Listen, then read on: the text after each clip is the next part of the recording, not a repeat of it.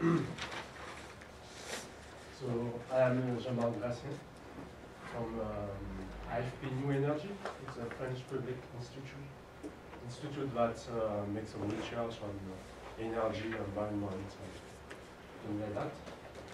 So I want to thank the committee to allow me to speak about my experience about uh, using those libraries and uh, those Proto, and I will try to to show how uh, we, uh, have used uh, this Proto to to design a domain-specific embedded language for um, low, lowest order variation method. It's a mathematical method to solve a partial derivative equation. So the history starts four years ago. So four years ago, I was reading books like uh, metaprogramming, looking at uh, uh, spirit, things like that, on um, in, at Uppsala conference. Uh, I met uh, Dave Abrahams, and uh, I talked with him about uh, my uh, my project to write a language for mathematicians to help us in my help me in my work to implement efficient software for industry.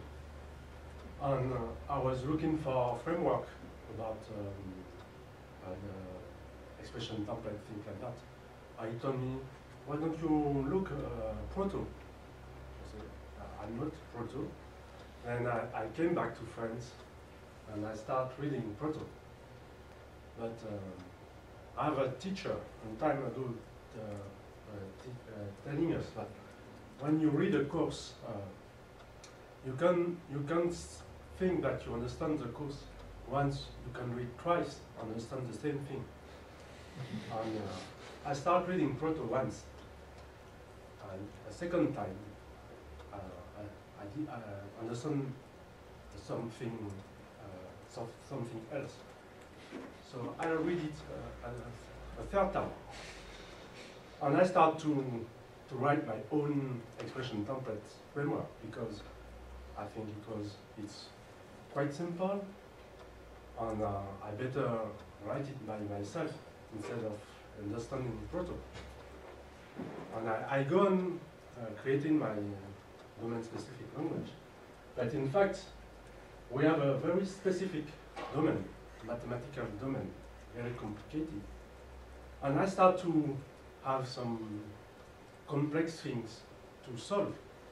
and as I didn't solve them, I read the proto tutorial and I said, hey, they have solved this problem. Then the second problem, oh, they have solved this problem. so I decided to read each night proto and as, as uh, um, till I can understand the same thing twice. and then I have uh, already a big code written in my own framework.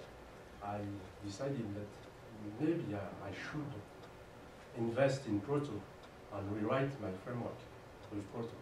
So I will try to, to explain you the benefit of using Proto to design a language.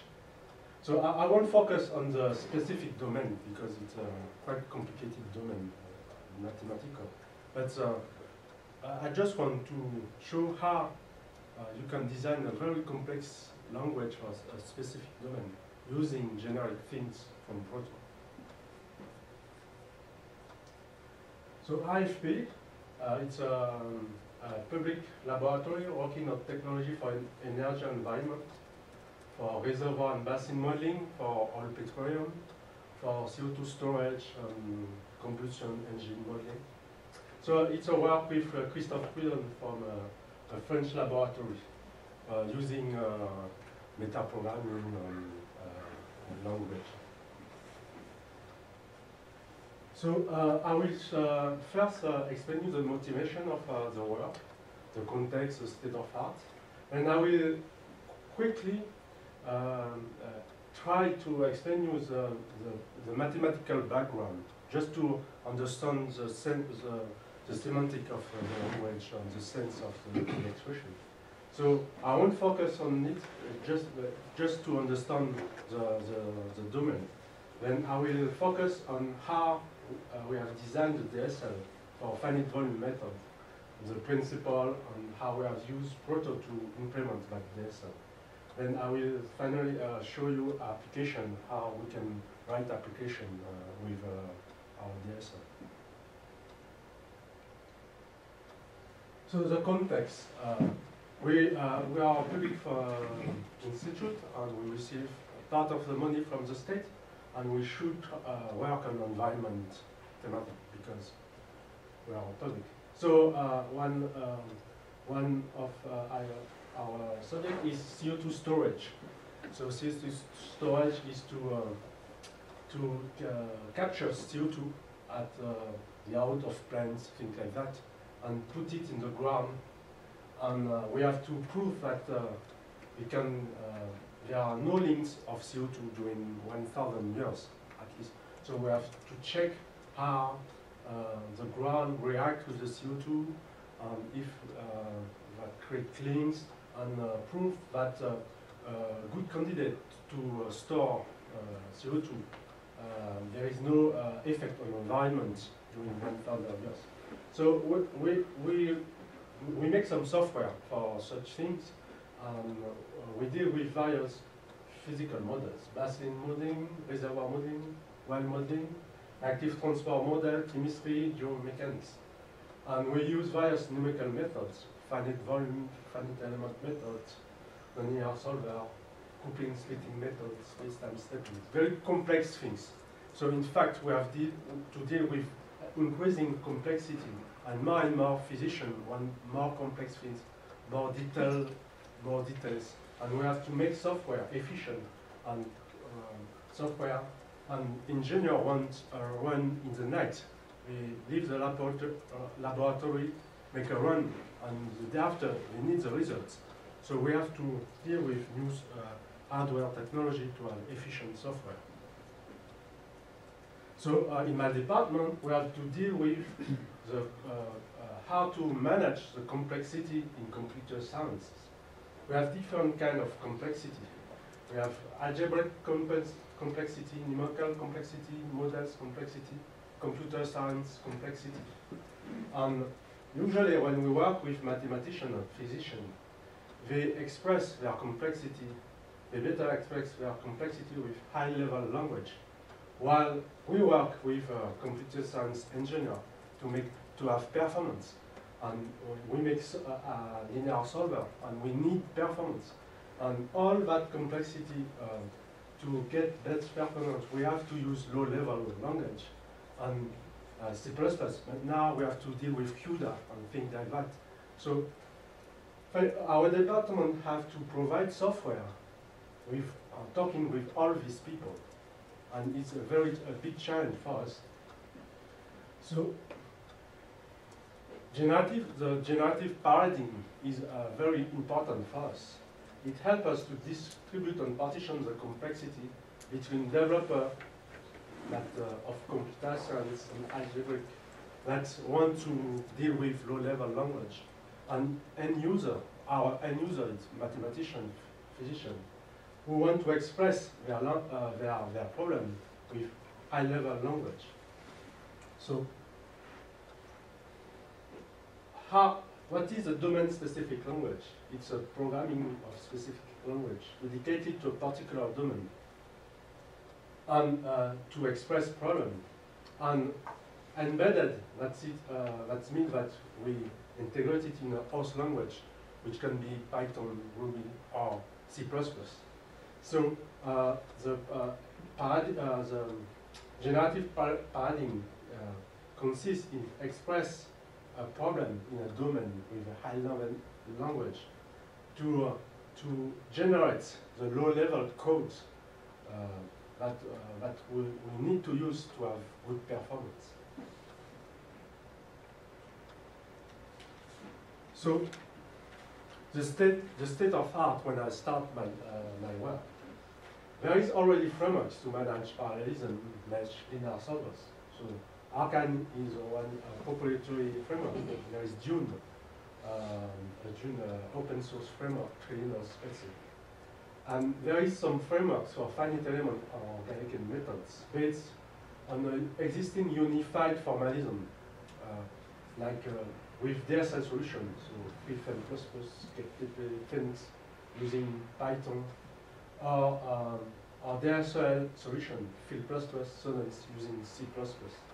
So, but uh, in um, in geoscience, we use uh, we often use finite volume methods, and as still five years ago, there didn't exist a unif uh, uh, um, unified formalism to express to express finite volume method.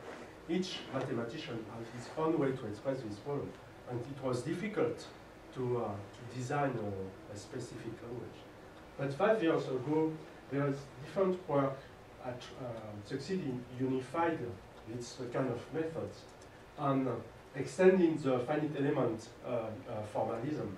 And we decided to to try to extend the finite element formalism to lower order methods to use the same way to express problem and solve them. So I will try to explain you quickly what is the, the, mathematical background, just to explain the, the expression we will use. So uh, the framework is based on uh, um, the variational formulation of problem. So I remember we try to solve partial derivative equation. And uh, the variational formulation consists in designing uh, we call functional space. So uh, a trial space it's uh, the space where we try you we try to find a solution and uh, test space is uh, a kind of collection of base function. So uh, the solution of a problem is um, the one who for every element of the test space we have equality uh, uh, we have um, the equality of a bilinear form AH to a linear form BH. I don't know uh, it's uh, in mechanics we say it's uh, the variational uh, solution is we have equilibrium if for every elementary displacement we still at the equilibrium. It's, so in mathematical with, the formulation is in the same way. We try to find um, a solution UH if for all VH we have the equality uh, AH, UH, VH equal VH VH V, VH. AH is a bilinear form and VH a linear forms. So for example, the classical example is a Poisson problem. So we have a continu continuous settings and people uh, uh, make uh, the weak formulation is to find, to define um, a kind of energy forms integrate on all the mesh, all the domain uh, gradient of UH, gradient of VH and we have to have the, this kind of equality. So the key ingredient to design a functional space is um, the mesh, uh, discretizing the domain, space of degree of freedom, it's uh, the vector of uh, uh unknown, in fact. So uh, uh, the, it's that represents in an algebraic way the, the solution we try to find. And,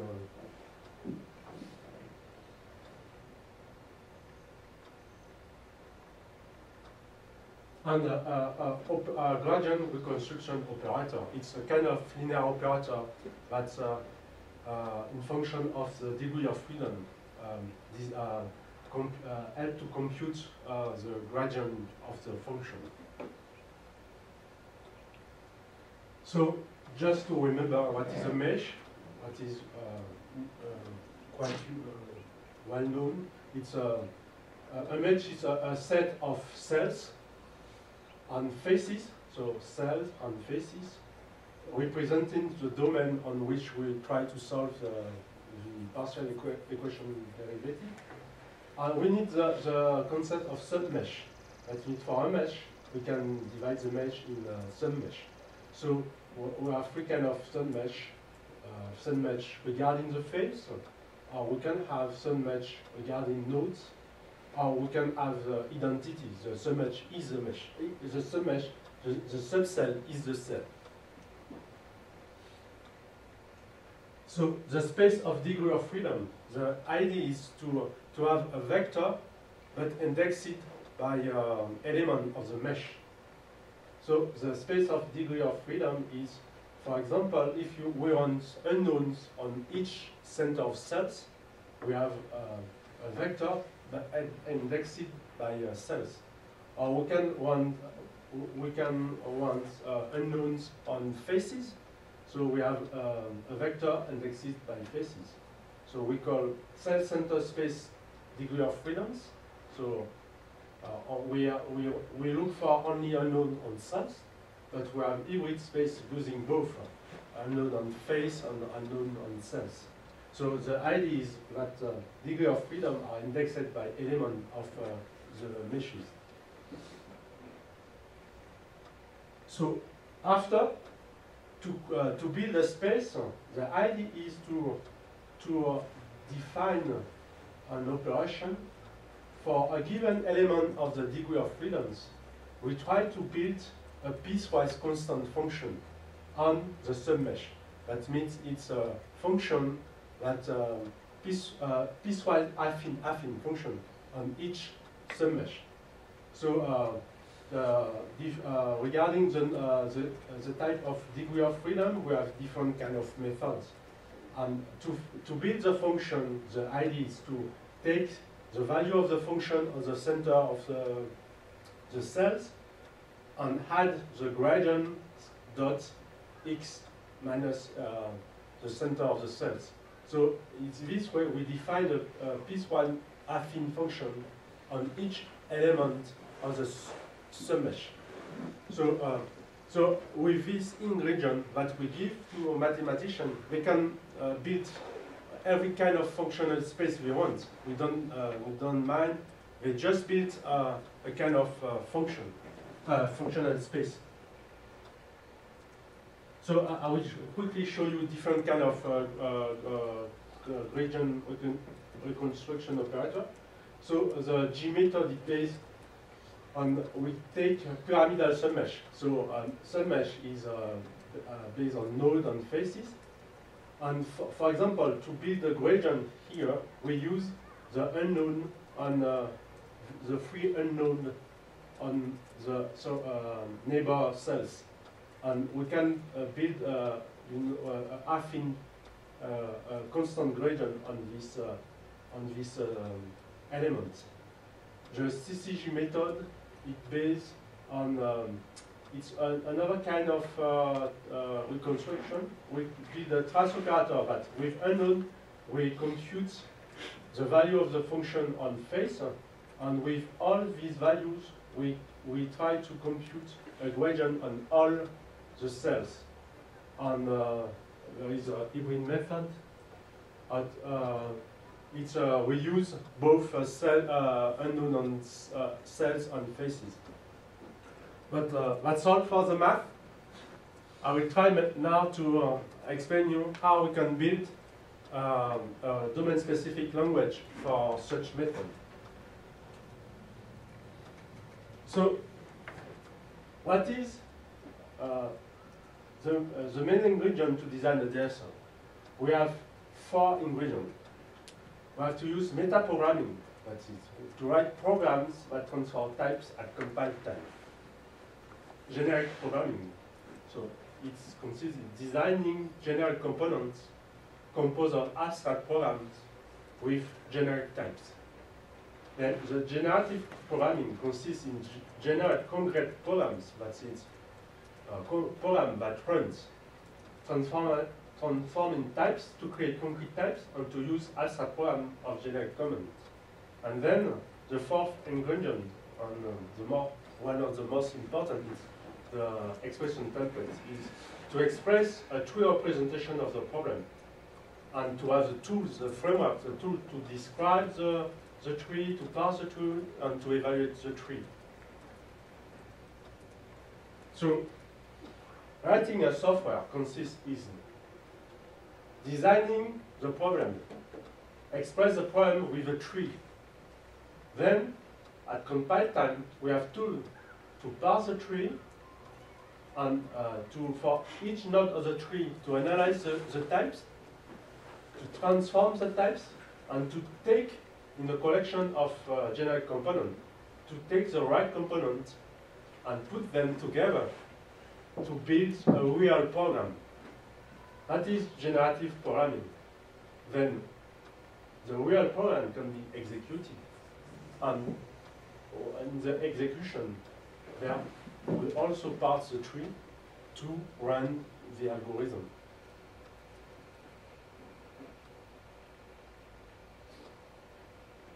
So to design a, a, a domain-specific language, we have first to design the domain language.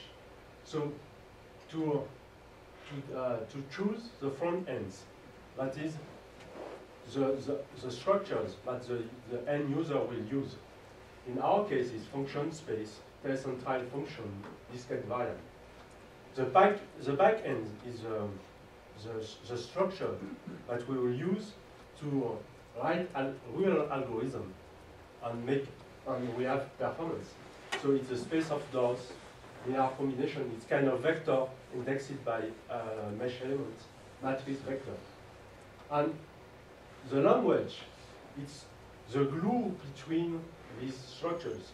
That is, to define linear, uh, linear forms with operators, predefined uh, function, keyword, the keyword of the language, and make an expression with these structures. And the purpose is to define linear bilinear form representing the discrete formulation of the problem. Then, to solve the problem, ev evaluating this expression. To, to, uh, to make that design, we have used uh, the, the, standard tools of the uh, Boost the library, to design the DSI, and Fusion for the metaprogramming. For the generic programming, we use standard C++. It's a kind of template programming. We just write an abstract program algorithm with uh, templates. Then we base our work on Arcane, the framework providing mesh structures, network, audio service, postgresql, everything, and external libraries uh, for mesh linear servers. That that is the reason why we, are, we have embedded our language in C++. Because in C++, we can have access, we have uh, ecosystem for every existing libraries, Fortran, CUDA, C++ libraries. And we can reuse all that libraries. And the compiler is a, a very powerful tools. The compiler can give you a lot of tools to make uh, many things. So we don't have to support all the tools for the, the generative framework. So, so the front end is a structure that uh, end user use. We have to see that in front on the front end, we have the back end with low-level structures. So the user uses the concept of mesh. In fact, we have Arcane mesh structures. It's a real structure. Function space. In fact, we use algebraic space. It's a kind of collection of vectors. Test-and-trial function. It's uh, real vectors. The bilinear forms uh, usually is represented by a matrix, linear forms by a vector, and, uh, uh, and region class operator is a collection of linear combination.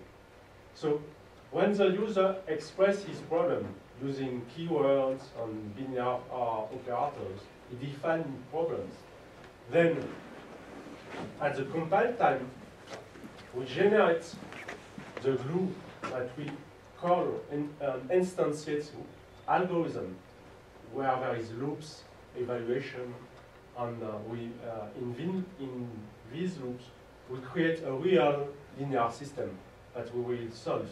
So at the evaluation, when you run the programs, these algorithms are called and matrix vector are built then solved to, uh, to find the solution. So to, to explain how it works with Boost Proto, I will take a standard example the example for the Poisson problem, we have the expression of the bilinear form is integrate on all the cells of the mesh the, the uh, scalar product of key, it's a tensor, uh, multiplied by the gradient of uh, u it's a, a trial function, and the gradient of v a test function. This is the expression, and this is an expression that every mathematician understands. Proto helps you to design a tree representing this expression. So it's a node associated to a, a tag T integrate. So we have a B, uh, uh, binary function integrate that creates two, two edges of the tree. All cells is uh, the collection of cells of the mesh. And in this, this expression, we have a binary expression, uh, uh, binary expression dot to associate to the keyword dot, then uh, a left expression, a right expression, and we can analyze the left expression. It's key times grad u, so it's a multiplication between key and the gradient of u, and we can analyze the right expression. So this is the representation of the problem. And in fact, when you write by hand your program, the mathematician want just to loop, make a loop on uh, a loop on the elements of the, the mesh, take the mesh, measure of the cell, and evaluate this expression. So uh, evaluate the, the, the left, the trial expression. The trial expression is a column. The test expression is a line. So this product make you a local matrix that you want to assemble in a big matrix. That is that all mathematicians do every day on copy paste, copy paste, copy paste for all the programs. So you can write it once with um, abstract uh, uh, types. So you don't add, once you have debugged it once, it works for every time to in instantiate that loop. So the idea is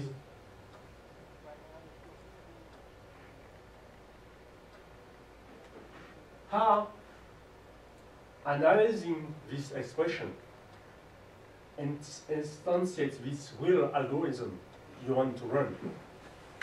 And I will show you how with Boost Proto we can uh, create such tree and how as a compile time we make the link with an instantiation of that algorithm. So uh, first, uh, Proto give you some tools to to create your domain. So to create your domain, you have to define a structure for expression. You say your uh, your expression, uh, you have expression. You have to uh, tell a grammar that uh, that check if your expression is a terminal or uh, a function of nodes create with, uh, uh, with, this terminal. Then you declare your domain and that generates expression of the domain and that conform the grammar. Then your expression, to generate expression, you have uh, such uh, kind of things. And uh, uh I had that uh, because we use uh, the assignment operator. But just it's just you when you read your tutorial, you understand that you have to define your domain to encapsulate all expression and to check that your expression is in your domain and is conform to your grammar. This is what allows you to have multiple domains in an application yes. and not get them confused. Yes, because I, I will show you that uh, we will have to use different domain, but that when you focus on one domain, it's a, a way to, to protect your domain. Question. Um, that grammar matches every possible proto expression. Yes. Okay. It's a simple grammar. just copy paste tut uh, proto tutorial, make it, okay. and uh, just uh, uh to be able to write uh, strange things, write expression, and it's compiled. It's work. You don't do nothing, just writing expression. Yep. Then uh, but to define your, uh, uh, your language, you have first to design, to choose what is your terminals. So you have a meta function saying, oh, this is function, this is basic, this is mesh, mesh uh, variable, mesh groups. And you say that your terminal will, will be such structures. So after you have detecting your terminal, you, you don't bother, uh, bother about grammar, just uh, overload all, all operators to, it's just the way to create expression with um, a C++ operators. So, so once you have terminal and uh, expression with operator, C++ operator uh, isn't sufficient for your language. You want to des design other uh, operators. So we call keywords. We want to create keywords. And that is a way to create function, to create function associated to tags. So we, uh, we start declare our own tags. For example, tglide and tdot. We want to, and with these tags, we create two functions, just creating nodes we associate with the tag, and uh, referencing other elements. So glad it's a node with uh, uh, associated to tglide and with uh, um, and, uh, with um, another uh, another type u. And dot is a binary, binary operator taking a left expression and a right expression. It's a node associated to t dot and the left expression, right expression. And so uh, Proto gives you a easy way to create the nodes you want, the function you, you. Then after, you, you, you can have more complex expression with C++ operator, but with your own operators. So uh, once you have your expression, you want to print it. So uh, Proto, you want just to print the nodes to see the, the, how it looks like. So Proto give you tools to parse and, and prospect your expression. So display expression, to take, you have a bin, binary expression. You want to take the right expression, the, uh, the left expression, for example. Or the type of the, uh, the right expression, the left expression. So there is a lot of tools already existing. I don't need to rewrite them by myself. So once you have expressions, you want to define, to, to design a language, it's important to speak with your end user and to tell that you need a strict language, a rigorous language. And the best way to define a language is to write its ABNF grammar definition. And when you talk with mathematicians, they are very rigorous. And you can try to write the uh, BNF grammar definition. It's a way to, to say, I won't do everything, but tell me what you want me to do. So with the mathematician, we start uh, defining what is a linear operator. So gradient, jump, I will explain jump. It's uh, the, the value uh, between uh, uh, one face, the back face, uh, the back cell and the front cell, the difference of the back cell and front cell. Average is the average of the value between, between the back cell and cell. So what is a text expression? So uh, a, text, a, a, trial expression, it's a trial function, or the coefficient, uh, a factor times uh, a trial function, or maybe the, product, the uh, scalar product of a factor with a trial function, or a linear operator. So we design, uh, uh, this is a text expression, but a trial expression, a text expression, so a bilinear term, it's uh, the product between a trial expression, a text expression, etc., or the sum of two bilinear terms or the product of a coefficient times the bilinear term. This is a work we can do on paper with mathematicians.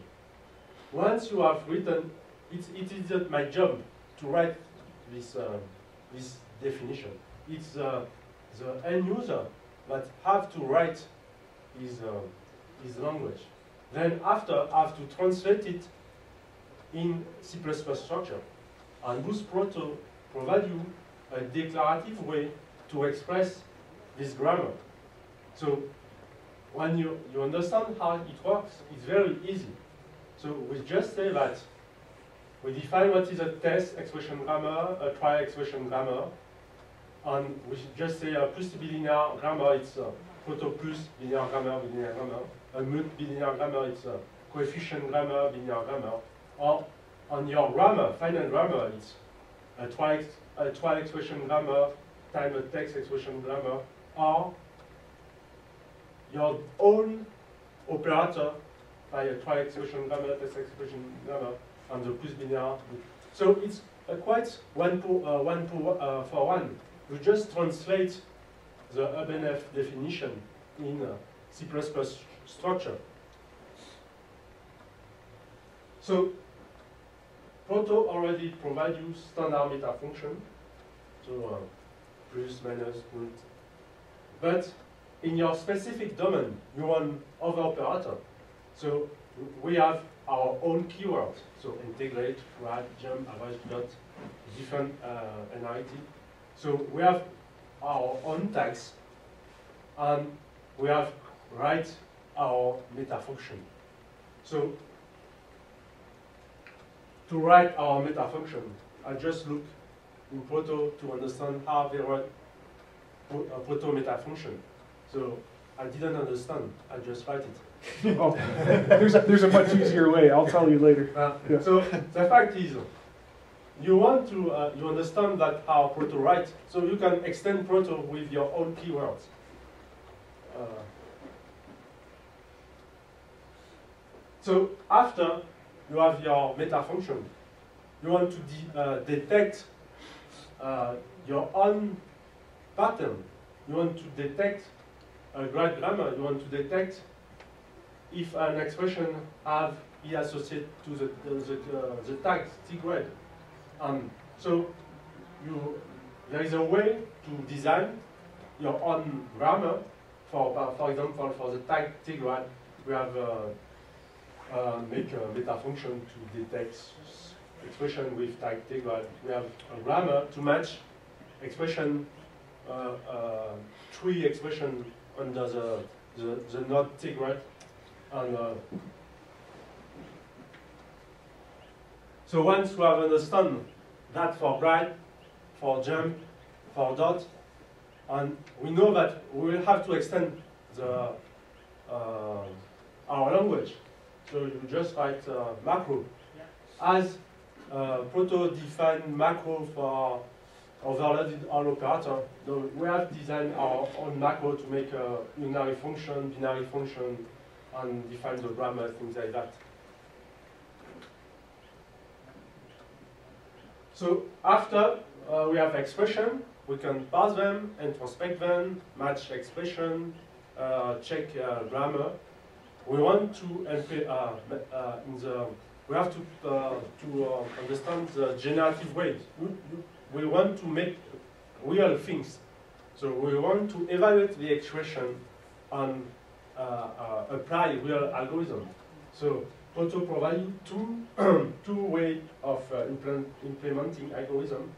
So context object expression evaluation and transform object. So the more easy to understand is context object expression evaluation. So we have an expression. We just want to evaluate with a context. And in fact, the algorithm is written in the context. So in fact, when want to evaluate this expression, we, we want a linear combination. It's a vector of uh, value indexed by uh, uh, some, some element of the mesh. So we have uh, eval context on cell, and we can evaluate this expression, the expression, and we recover the line and the column of the matrix. And uh, the, the, the way to, to, uh, to recover this uh, um, the vector of colors is written in uh, the operator of uh, eval context that call in fact uh, in the space the right the right uh, uh, function that give you uh, what you want. So it's the, the first things you, we do just to, to, to call algorithm on the node of the tree. Then after, to make a, a, a, very compli a more complicated algorithm, it's to call a loop, a real loop with uh, the good loop. We are proto provalue transform object. It's kind of grammar object that match expression and uh, enable you to call specific algorithm. So So you're treating all unknowns as scalars, is that right? So like a, like a velocity would be a u, v, w or something? uh, uh, we, we, we deal with a scalar, but uh, I will show you vector expressions too. Okay. Okay, I will, I, uh, I will show you later. So uh, what is a transform? So we have designed the grammar. In fact, the, the transform object, uh, if uh, we want to integrate, makes integrate on all the mesh dot gradually, gradually. So the transform object, it's a kind of object that match, match our grammar. That's why we have def defined all kind of grammar to match expression. So with, when we, we want to integrate with uh, a linear expression, so we want to, if, when it's a multiplication between a trial expression, a test expression, just call that. If it's a, uh, the a scalar product between a trial function, test function, just call that. And here, we have, we can say on the node you are analyzing, take the left, left expression, take the right expression, and we have the state and uh, the data. State, it's a, uh, the, for us, it's the value where we accumulate the, uh, uh, the value of that on each cell. On uh, data, we pass the context. That's the way we evaluate this expression. Because this expression, the same expression, we can evaluate in different way. We can just evaluate to fill a matrix, or just evaluate to get uh, the, the accumulative value of the expression. So uh, the context of evaluation, you, you just pass it with data.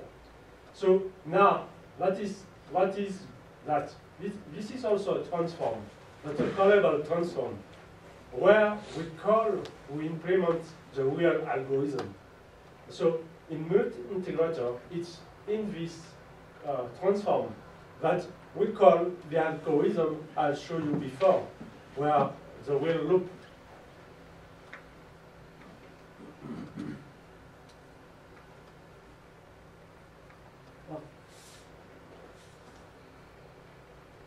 This, in the transform, we call this loop and instantiate it with the real type of the test expression, try expression, because at compile time, passing the expression, we know the type.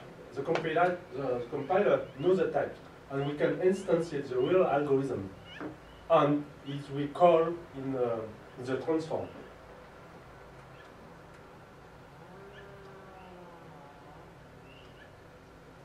So uh, that's the way transform object. That's the way we can match every kind of expression of our grammar.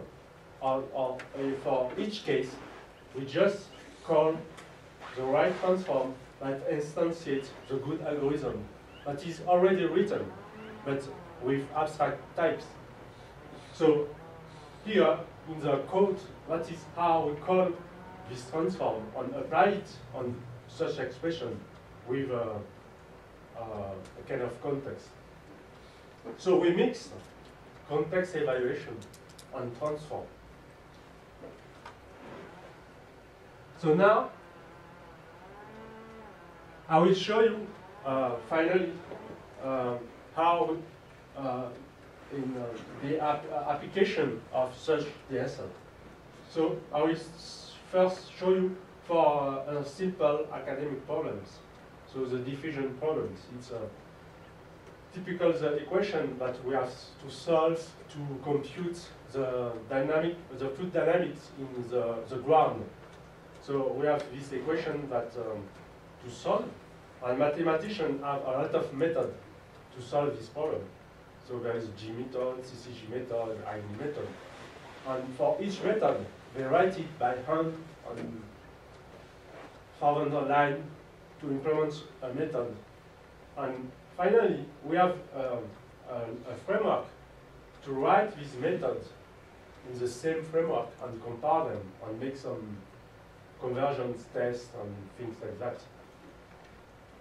So the first method. So the mathematician thinks, write papers, and finally say that this is the binaire form we have to implement. It's the sum of all the faces, the integration of each faces, of the, the average of the gradient, uh, uh, uh, the, the scalar product of the normal of the faces with the average of the gradient times the jump of the test function. So this is mathematical language. There, it's their language, we understand that, and they write paper, and uh, finally, we have a definition. So to implement that, we just, with our DSL, tell the same thing. So we have a mesh, we create a G space,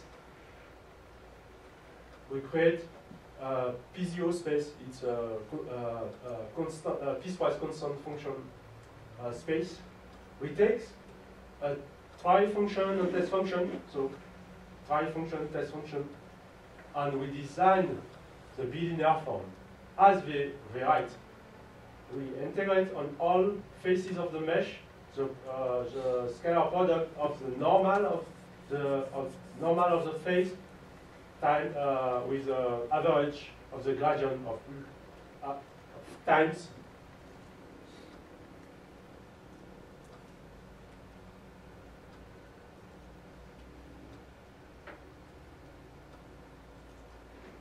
times jump of v. So the same for the, the linear forms. It's integrated on all the cells of the mesh of f times v. So it's So how do you choose the gradient reconstruction?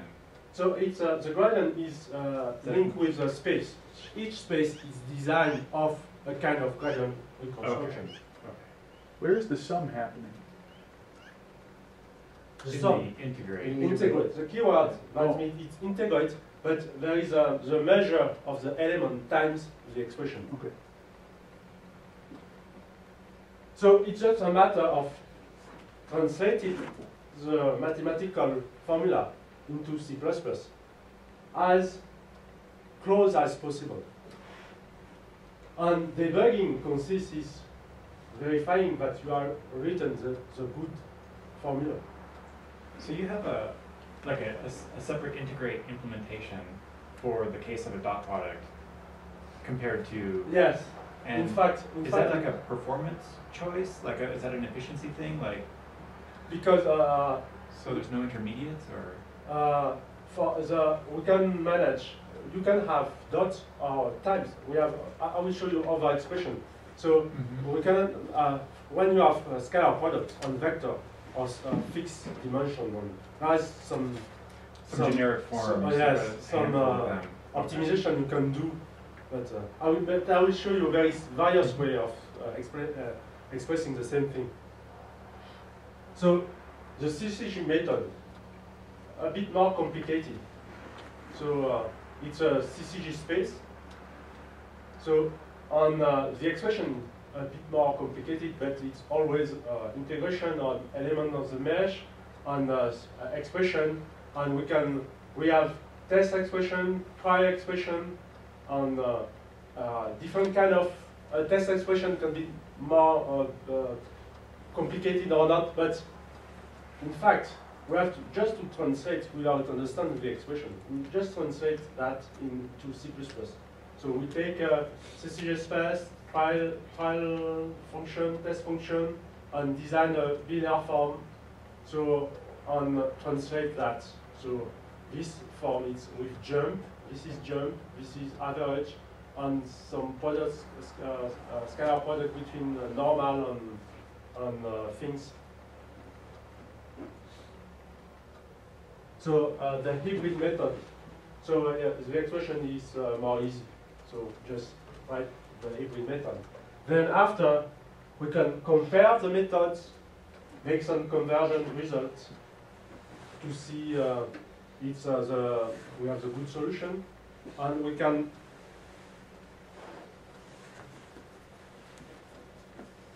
have performance results of the methods. So we have com uh, compare with uh, handwritten methods. In fact, the G method, we can write it by hand with a standard. We have a standard unwritten method. But uh, so uh, to check the override of the language, because in fact the performance is, in the loop, and the loop uh, is written by hand. No, uh, in fact, it's the same loop. Uh, you have just to check that before calling the loop, we are not, not override. For, so for simple expression, we have quite the same performance. Uh, there is some difference, but uh, uh, um, uh, but uh, we have the same performance.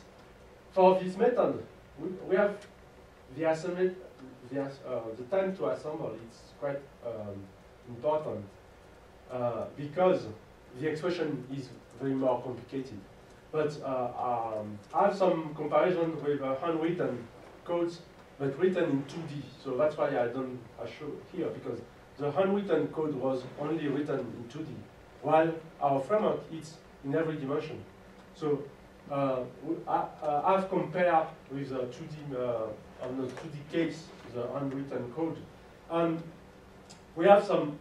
Uh, we are uh, uh, the performance are not as good as uh, handwritten code because there is in the expression there is simplification that you can easily done by uh, by hand. But uh, we should introduce uh, cache uh, uh, to avoid uh, to evaluate the same expression several times. So we have to work on it just to to make some optimization while evaluating the expression to have the same performance than the handwritten codes. So I will show you other example, more complicated example. And each time uh, we have to extend the language.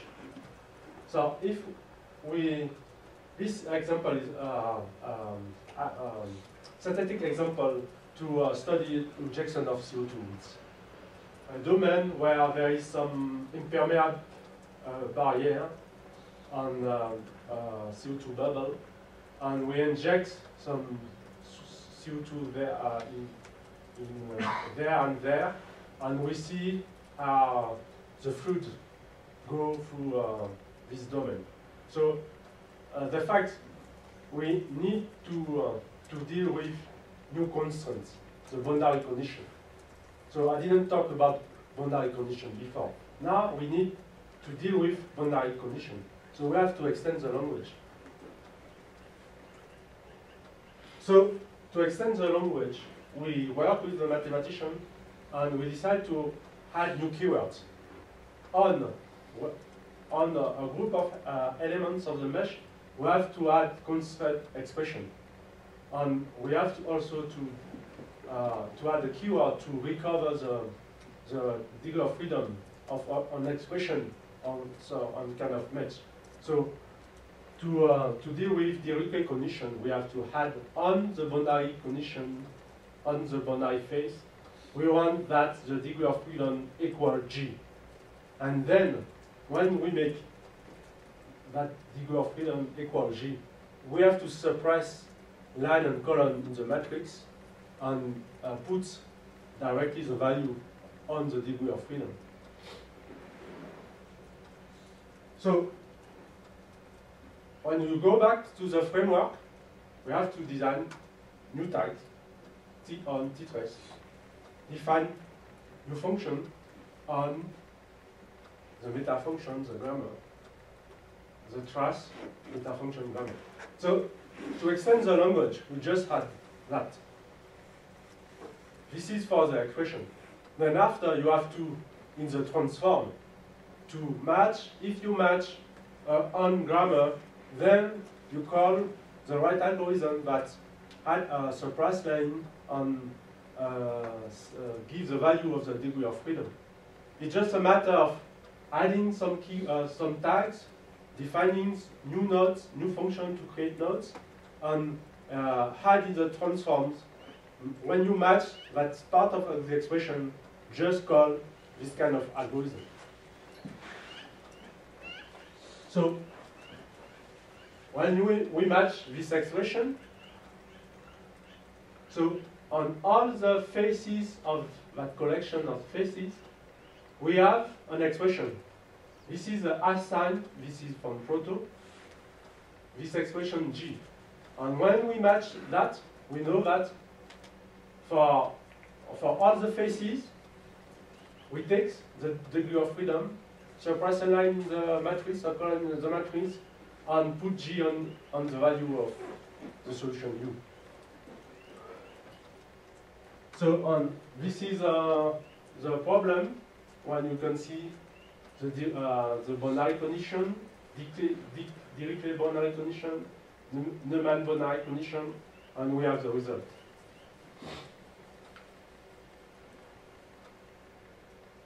So we try to make another more complicated problem.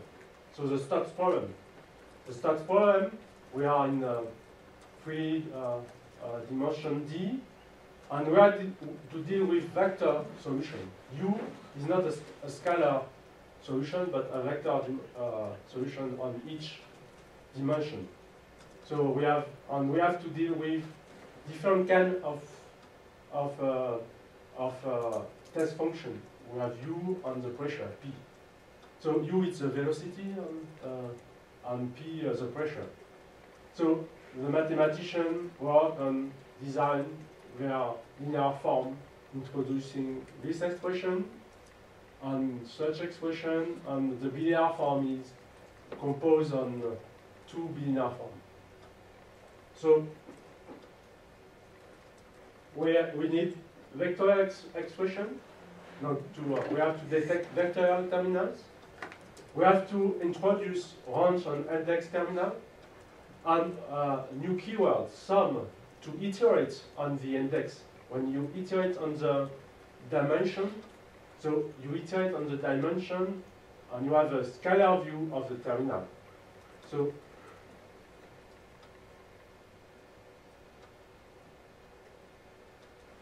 So when we look at, we have uh, two index, uh, i and j.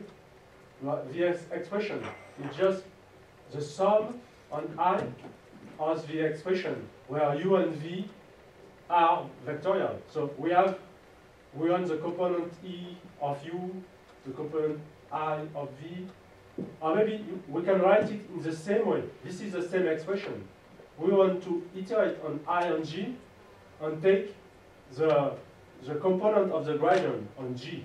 So we had, we had uh, this keyword which takes the component of the gradient on g times. So we can write it in the same way.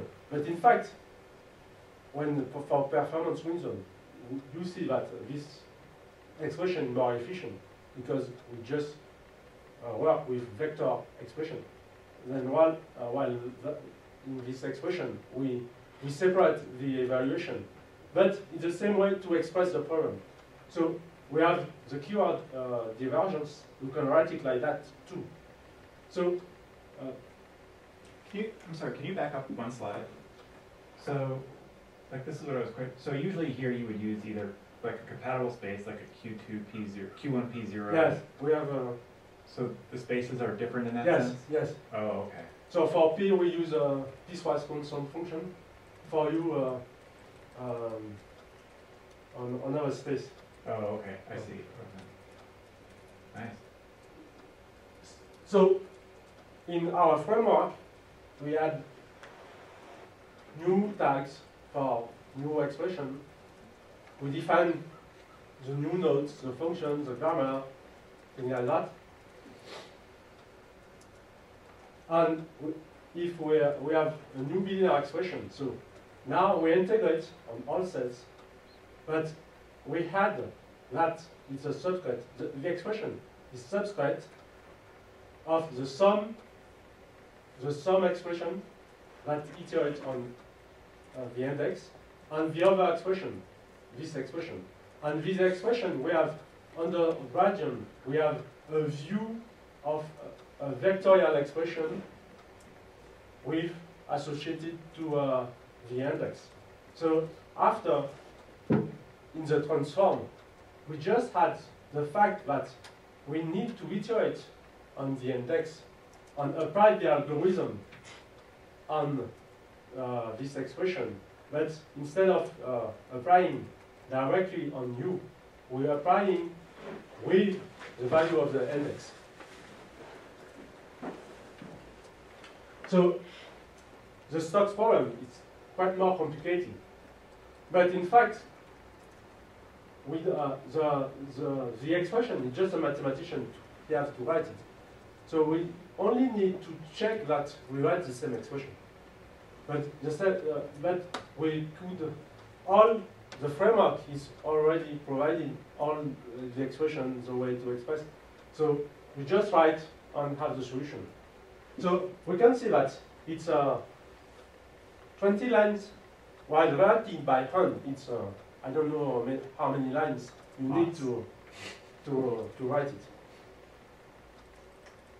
So the final um, uh, test uh, case, it's a, a, more complicated test, but interesting one to see the benefit for the low-level services. In fact, it's a we call multi-scale pressure solver. So multi-scale methods consists using two-level mesh uh, thin mesh and coarse mesh. So to solve the thin problem, the thin problem is the standard problems. We, we use a coarse mesh, and on each face of the coarse mesh, we define, we say, basis function using the thin mesh. The basis function is also a partial derivative equation with, uh, uh, with a weight function that's like take the value of the permeability on the thin mesh. So once we have the base function on each face, we want to find a coarse solution using the value of the base function. So you just write the, the coarse mesh, the coarse space, the uh, hybrid multi-scale mesh, is to find solution as piecewise function of the course cells plus the value of the basis function.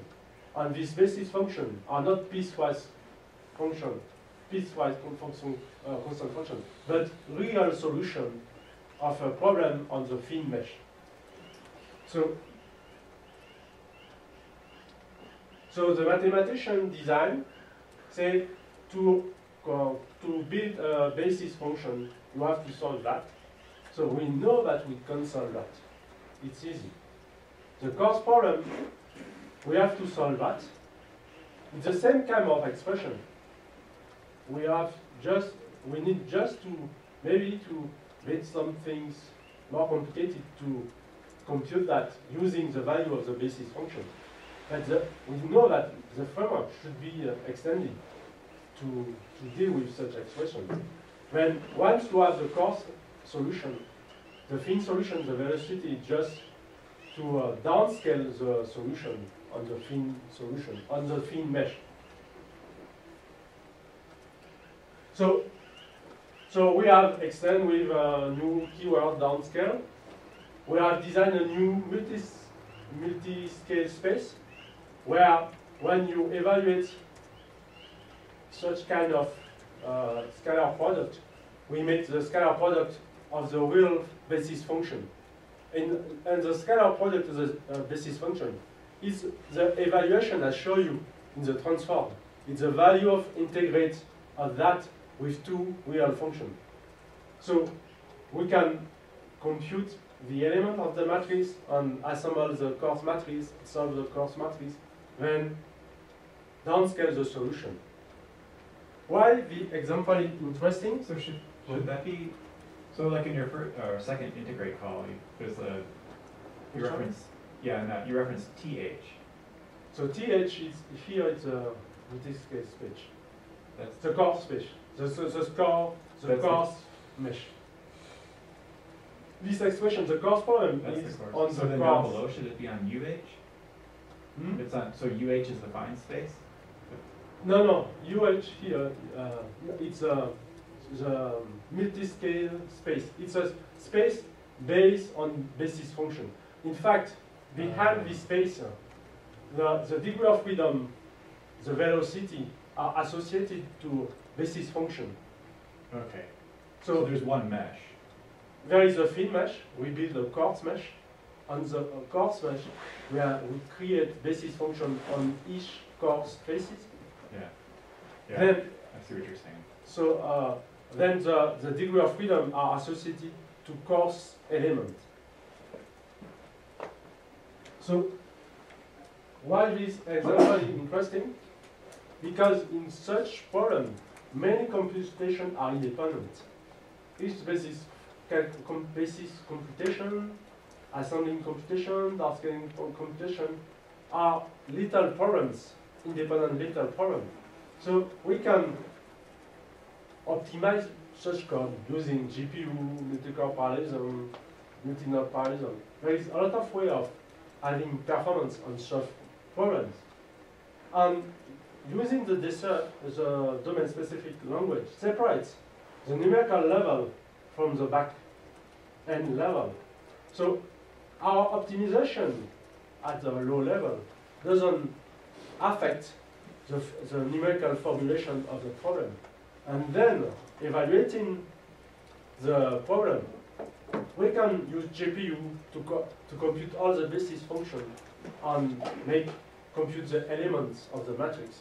We can use multi-core parallelism with TBB when uh, we have uh, we have access to multi-core problem.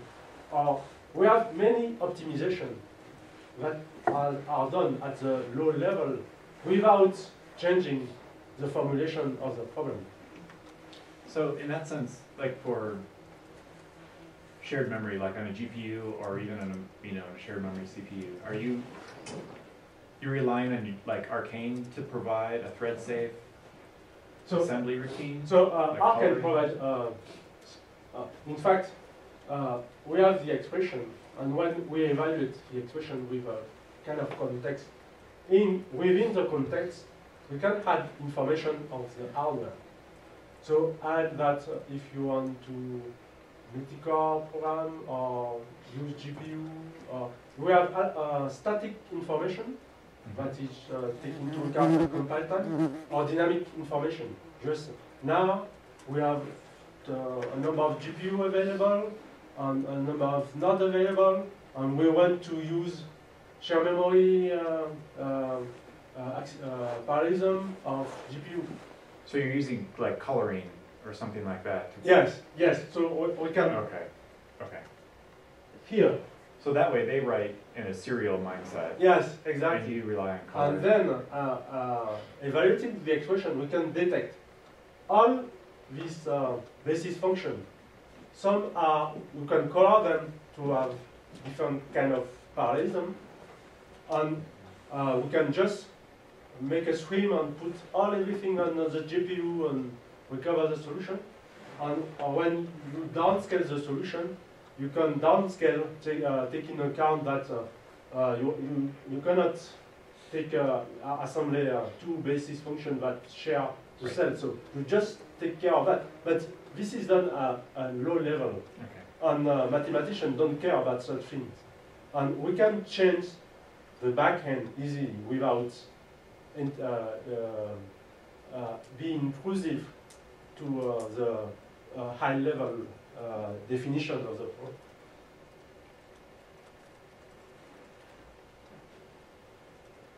So the, the solution, huh? so you- you can see our 1D problem. This is a basis function. This is a, a linear solution. For a homogeneous case, for heterogeneous case, this is a basis function, and we can compare the thin solution to the coarse solution. For a 2D problem with uh, uh, permeability field, uh, heterogeneous permeability fields, we have the multiscale solution, where you can see the effect of the coarse the coarse uh, mesh. This is the thin solution when you just write it on the thin mesh. And this is the error between these two solutions. So, uh, to conclude, so we have a new DSL for lowest order methods uh, that didn't exist before because uh, uh, of the lack of uh, formalism. It, uh, it was existing for finite element method, but not for finite volume method. So we can recover various finite volume method that a mathematician well known. So we can implement non-trivial academic test case. And, uh, and we have checked the performance issue, language overhead, bench, uh, benchmark with unwritten, and we know where we have to work to get uh, good performance. And we are we have confidence to to be close to the handwritten codes, but uh, uh, we improve the productivity to write such codes. So the benefit of Boost Proto framework, productivity for the developer. It's a DSL to design DSL. We have a lot of usual generic tools.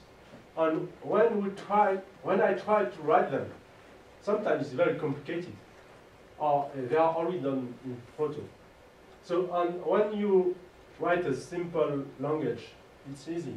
But when you start to write a real language for a real domain, you have, uh, a simple example is we have to uh, copy expression and take care that some are reference, some uh, cannot be copied. We have big vector. We have to check when you copy an expression that uh, vector are not copied and things like that.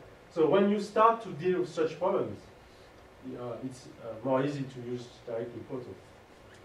So enable to design easy complex DSL, and the DSL can be easily extended. So you cannot, the first, you start, you just design a simple DSL for simple problems. Then quickly, when you see that it's very uh, uh, interesting, you want to make more complicated problems. And my business is to make real software for real, in the real world. So we have to have complicated expression. So you want to extend the DSL quickly. So uh, we have to to, um, to design a DSL factory, a way to extend the language quickly. So, uh, because um, uh, when you read the proto source, it's quite complicated and you don't want already to, also to understand everything, but just create, uh, extend your language. Um, so try to factorize, you know, uh, kind of declaration the same declaration to extend your language. And so it's a way to extend Proto standard tools. Proto provides you standard tools, but they are generic. But when you write a specific code, you want to add your own function or your own things. So you just, as Proto do, extend uh, the standard tools of Proto. So there is a productive for end user to write things once he's uh, he, he have confidence, confidence in the DSL. And uh, you want to uh, quickly to write new numerical methods and new complex methods. So uh, writing these methods, they, their concern are in the method, not in the uh, performance issue. So we have two separate, two teams working together, but we have um, uh, computer science specialists working of GPU, parallelism, things like that. And we have mathematicians and numeration. We want them to talk together, but to work independent. And it's an easy way to separate concern and to provide performance to a mathematician in an easy way without rewriting all the codes because uh, there is a new feature and new, new things. So perspective. So uh, we want to extend the DSL for new things. Take into account non-linearity because I showed you only uh, linear problems, but there is a way to take into account non-linearity and uh, make more complicated things. So we work with uh, HAM project. It's a uh, um, a, a project in France for multi-scale method on hybrid architecture. It's uh, the way of um, using hybrid architecture for such method which provide many, many independent problems. So we are working with that. And we have to uh, check, uh, check for new business applications. So linear elasticity, core mechanic, new, new, new uh, application for uh, software. So some links. So uh, boost and some uh, some projects uh, are working in the same way. There was a DUNE project. It's a kind of uh, using the same way of uh, developing software. The FEniCS project and Feel++ project. Thank you. Uh,